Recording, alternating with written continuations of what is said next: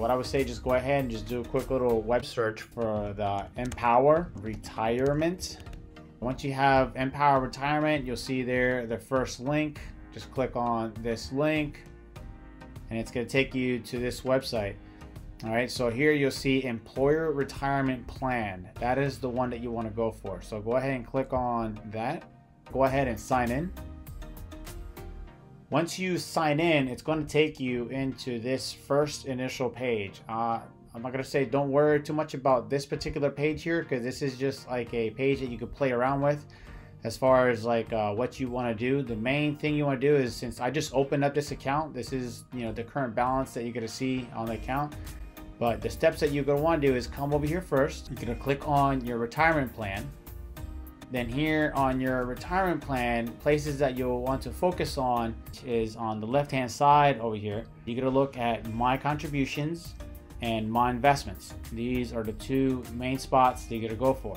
So we'll click on here on my investments and currently right now I have selected is T. Rowe Price and Vanguard Institution 500 Index as I was looking at all the different options that they had that was currently offering, these were the ones that to me that stuck out the most as the best performers that were out there. If you want to set it up, you know, yours, if you want to change it, want to make some adjustments, you can come on here where it says change my investments.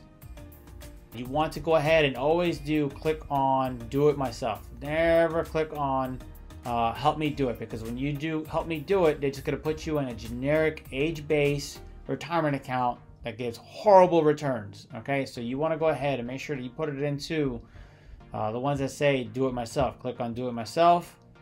And then here it's going to ask you, you know, what to do. Since I currently have funds into it, that's why it's giving me multiple options. But at the moment, I'm just going to go ahead and uh, click on change how my future contributions will be invested. Okay, so this is how any of my future investments will be going into. This is what I'm going to change it. If I have money invested in one account and I want to go ahead and move it on to another account, you will go ahead and click on this one right here, which says change my current balance. And from here, you can move it on to a different one as well. At the moment, let's just go over this one as the initial one, change my future contributions. And then once you're on this page here, you can go ahead and click on view all funds. So you always want to view all the funds. Check out all the options that you have. And here, I would say is stay away from all of these.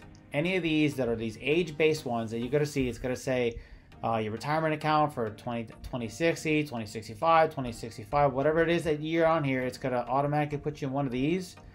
These, historically, have been giving horrible returns. I'll show you an example here shortly about the returns that those give.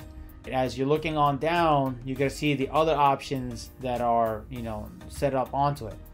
All right, here we got uh, the ones that I was looking at. I went ahead and clicked on all these other ones. When you click on them, you have your page that pops up that has information, you know, about the individual company.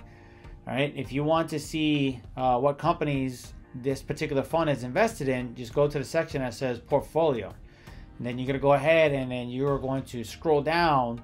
And if you were to pick the T. Rowe Price uh, Blue Chip Growth, all right, you are investing into 118 different companies, okay? And these right here that you can see, these are the top 25 companies that this one is currently invested in. So right now, the T. Rowe Price Blue Chip is investing 10% of the funds into Amazon. As you can see here, 10%. And you can see here, it's also investing into Alphabet, which Alphabet, if you're not familiar with them, they are the parent company of Google. They own Google. They're invested into Facebook, Microsoft, Apple, Visa, and these over here on the right hand side are the percentages of that particular funds that are on there. All right, so right now they are invested pretty heavily, these on the side. The other one that I looked at was a new one that was just recently added. This one is based off of the S&P 500. So we'll click on it. Same thing, we're gonna look at the portfolio, you know, to see which companies it is currently invested in and we'll go ahead and scroll down and this one is currently invested in on 507 companies as you can see here all right in the 507 companies uh, these are the top 25 out of those five so in earlier example we saw that amazon was the leader And in this example, we see here that Apple is the current leader that they are investing in. So 6.22% is invested into Apple. They're invested in Microsoft, Amazon, Facebook, Alphabet. You see all of them over here on the left-hand side. And the percentages that this particular fund, which is based off the S&P 500, is invested in. All right, now that we know, you know, what these particular funds are invested in, I'm just gonna go ahead and take a quick glance on over here and understanding the numbers that are being presented to me. So this column right here shows your average one year return. So in the past 12 months, this is what this particular fund has been able to give you. In the past five years, this is the five year average.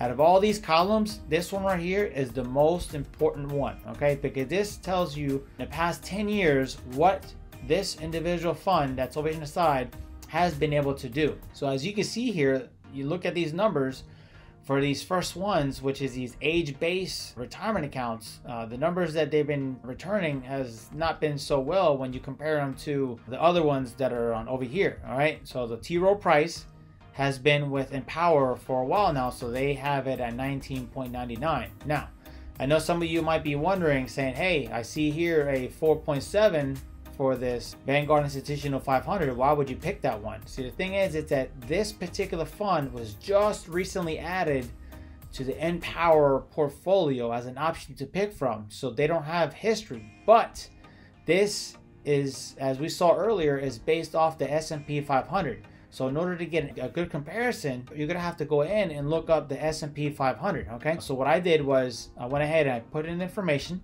of the top five options basically that were on our list on Empower. And here, as you can see, the light blue line is the Vanguard 500 index. And uh, here is showing you that uh, in the past five years, as we have on here, the five-year mark selected, you're to see that the S&P 500 has done an average of 101% increase in the past five years. And this is the light blue line that you see on here. You see a nice steady blue line going on up. You have a little dip over here. You have a dip here for the 2020 when we ended up shutting down basically the country. We have another dip over here at the end of 2018, but that was across the market period. But besides that, that light blue line, you see it's a nice steady flow that continues straight on up. Pretty predictable. So again, here we're comparing the five-year returns for the different ones, we have the T. Rowe Price Blue Chip that's been able to do an outstanding 154% uh, return in the last uh, five years. Again, as we mentioned earlier, the S&P 500 has done 101, and this one right here is the target age-based one that was selected for me that I would fall under if I were to let the system just set it up for myself. And as you can see here, it is only given a 59% return. Now, when you compare this 59% return to these other bigger numbers over here, this is what some of my coworkers would call trash, okay? And we all know that uh, trash is not good. So stay away. Again, this is another big reason for you to stay away from the age-based ones. Always select your retirement accounts. Here we have the extended market, the Vanguard extended market. It has also done uh, very well uh, at 103%. Uh, the reason I'm currently picking the S&P 500 over the Vanguard Extended Market is that the S&P 500 has given the same returns, but the returns that has been given, it has been consistent. So the dark blue line that you see here is the extended and the light blue line that you see on here is the S&P 500. So at the end mark, they are at the same end mark, but when you compare over here, look back as time has gone by, you can see here the extended one was has maintained lower than the S&P 500, right? Only up until this moment. At this moment right here is when the extended market had a peak, all right? And this is what this one peak is what helped out the extended market maintain with the S&P 500. If it wasn't for this one peak, then the extended market would probably be about a couple percentages lower than the S&P 500. The extended market, you know, those of you that are curious about it, in extended market, they invest into uh, around 3,500 smaller companies when uh, S&P 500 invests into the top 500 uh, companies within the US. Okay, so real quick, so if you are enjoying this video and really want to see more of it, do me a favor and give me a big thumbs up on this video, make sure to subscribe to the channel, click on notification bell so that way you can be notified every single time I release a new video. And if you have any questions, by all means, feel free, ask the questions down in the comments below. I'll always do my best to respond to you within the comments section. And if I see that it'd be best to answer your question by doing a video, I'll also go ahead and do a video for you to better explain to you any question that you might have. So make sure to leave a comment below. So without further ado, let's go ahead and get right back to the video. All right, so here we have, uh, again, based off those numbers that we saw, we have the T. Rowe Price selected because in the past five year history, 10 year history, they've been giving consistent outstanding numbers. And you saw that the T. Rowe Price, an example, has outperformed all the other ones in the long term. The S&P 500, uh, the other reason we went for the S&P 500 is that the S&P 500 hasn't given big numbers like what the T. Rowe Price blue chip has, but the advantage that the S&P 500 has is the S&P 500 pays dividend. So by dividend, you know I mean is that you come on down over here and we'll check out let's see this is uh, a Vanguard uh, S&P 500 VOO which is very similar to the one that is on here basically this Vanguard Institution 500 is going to replicate what the Vanguard VOO is currently doing and if you take a look over here at this yield section this yield is a 1.34 yield is it's paying this is dividend this is free money that you receive for investing into the S&P 500. And the place that you see that is you'll come over here on historical data. All right, this is Yahoo Finance if you're curious. Is Yahoo Finance. We're going to set it up. We'll look at the, the past five years. We're going to look at dividends, uh, how the dividend has been looking within the past five years. And here we can see that dividend has been consistent uh, paying out 1.3, 1.3, 1.4, 1.1, 1.4, and you've had all these. All these dividends that are on here are paid quarterly. So every three months, for every share that you have, for what you have invested, should I say, for what you have invested, you're going to get a 1.1% return added on as a bonus. Okay. This is extra money that you receive for being invested into the S&P 500. This is cash that you're getting for dividend. So again, if you have, let's say you have $10,000 invested into uh, the S&P 500, that $10,000 gained you an extra 1.3% of free money that was deposited into your account. You don't have to do anything on it. Just keep on putting your money into it. And then every three months, you're gonna have a dividend being deposited in there of extra cash. So even though the S&P 500 has not been going up the same percentage rate as what the T. Rowe Price has, the dividend that it receives helps increase the amount of cash that your uh, funds will be growing uh, throughout the time. Okay, because now you have more money going into that particular account, and that extra cash will help you grow up in the percentages. So once you have these two selected, you'll go ahead and click on Add, and then from there you'll go ahead and adjust your percentages to what you want. For everybody that's new setting it up, I usually say, hey, go ahead and, for example, if you're not too familiar with it, just go ahead and set up a 50 50. Put your T Rowe Price and your Vanguard 500 50 50. All right. So that's how you want to set it up. Leave it for a year.